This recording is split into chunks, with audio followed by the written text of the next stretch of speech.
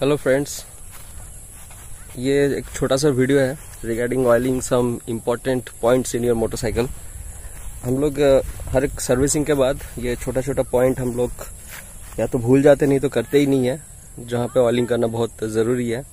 ये कुछ पॉइंट है जहाँ पे आप अगर ऑयलिंग करते हैं ऑयलिंग में ऐसे मतलब है जो इंजन ऑयल जो आप फेंक देते हैं, उसको मत फेंकिए, उसको आप रखिए। अपने पास, ठीक है? और एक कंटेनर है। एक छोटा सा पंप मिलता है मार्केट में, मैं आपको दिखा दूँगा।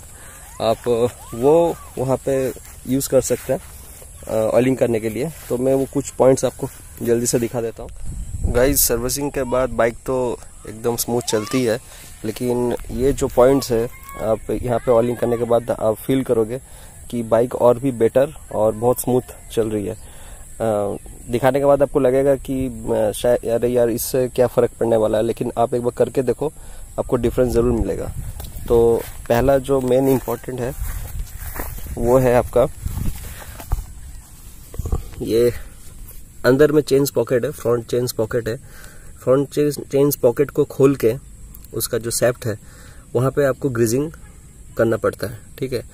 ये हो गया चेन ऑयलिंग तो हो ही गया, वो तो सर्विसिंग में आपका आगे वो आप छोड़ दीजिए। जब भी आप सर्विसिंग करवा रहे हैं, आप, जो ऑटोमोबाइल जो टेक्नीशियन है, उनको आप बोलिए कि फ्रंट पॉकेट का जो सेफ्ट है, वहाँ पे ग्रीजिंग ज़रूर करने के लिए।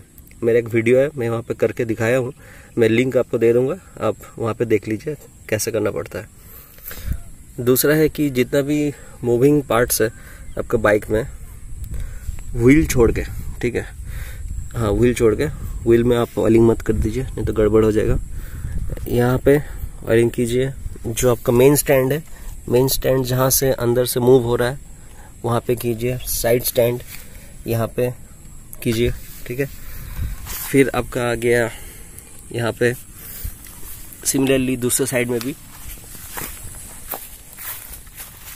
ब्रेक के यहाँ पे जो मूव हो रहा है स्टैंड के इस साइड में भी। जॉइंटिंग पार्ट में, यहाँ पे किक के यहाँ पे, ठीक है? क्लच जो मूव हो रहा है लीवर प्लेट को जो मूव कर रहा है यहाँ पे, ठीक है? फिर आगे आपका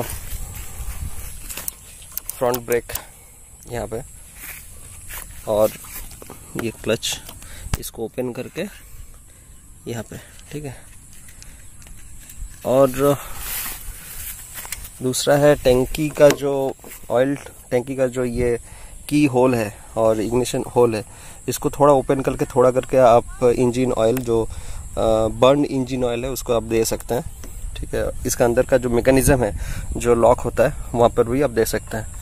ये कुछ पॉइंट है, आप इसको मेंटेन कीजिए। ठीक है, उसके बाद आप बाइक को एक बार चला के देखिए। बाइक में आपको और डिफरेंस फील होगा।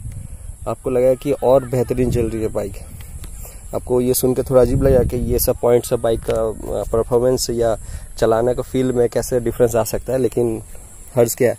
अब करके एक बार देखो, फिर कमेंट में ज़रूर देना okay thanks guys thanks for watching this video